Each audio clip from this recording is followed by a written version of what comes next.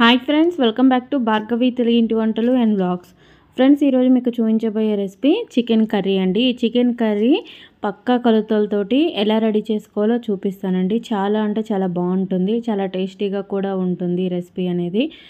Try చేయండి. వంట రాని వాళ్ళు కూడా ఇలా పక్కా కొలతలతోటి రెడీ చేసుకుంటే ఈజీగా రెడీ చేసుకోవచ్చు. చాలా అంటే చాలా బాగుంటుంది.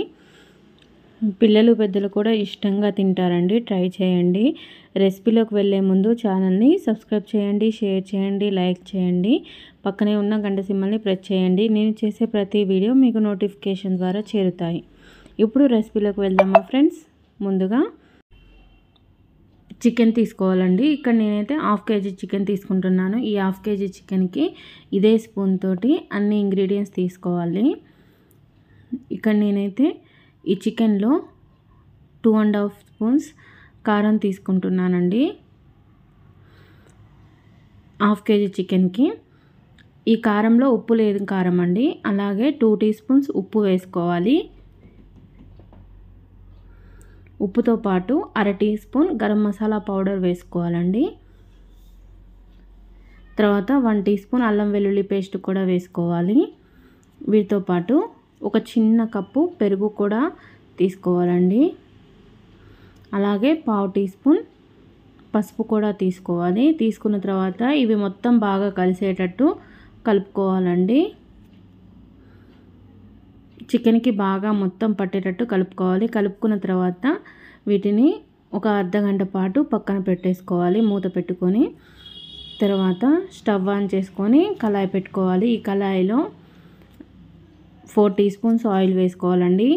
ఆయిల్ హీట్ అయిన తర్వాత వీటిలో ఆనియన్స్ ముక్కలు అలాగే పచ్చిమిర్చి కూడా వేసుకోవాలి.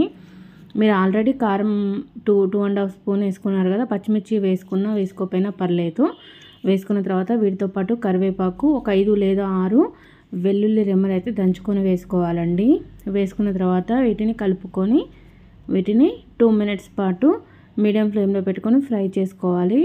ఇవి ఫ్రై అయిపోయిన తర్వాత వీటిలో పావు టీ స్పూన్ పసుపు వేసుకోవాలండి. పసుపు వేసుకొని వీటిని పచ్చివాసన పోయేంత వరకు వీటిని ఫ్రై చేసుకోవాలి.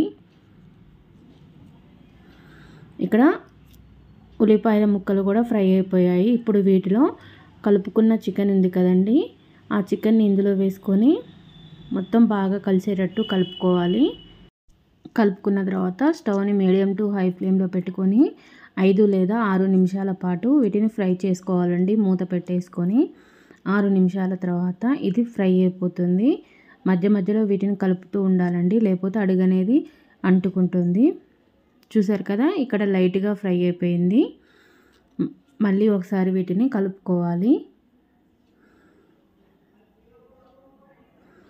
కలుపుకున్న తర్వాత వీటిలో కొంచెం వాటర్ యాడ్ చేసుకోవాలండి.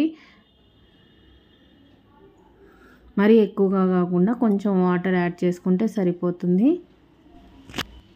వాటర్ యాడ్ చేసుకున్న తర్వాత వీటిని మళ్ళీ ఒకసారి కలుపుకోవాలండి. కలుపుకున్న తర్వాత మీడియం టు హై ఫ్లేమ్లోనే పది నిమిషాల పాటు వీటిని ఫ్రై చేసుకోవాలి.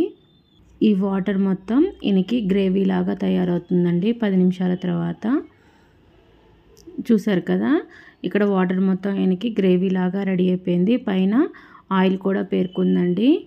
తర్వాత వీటిలో అర teaspoon garam masala powder వేసుకోవాలి. అలాగే వీటితో పాటు శుభ్రంగా చేసుకున్న కొత్తిమీర కూడా వేసుకోవాలండి. వేసుకున్న తర్వాత ఇవి మొత్తం బాగా కలిసేటట్టు కలుపుకోవాలి.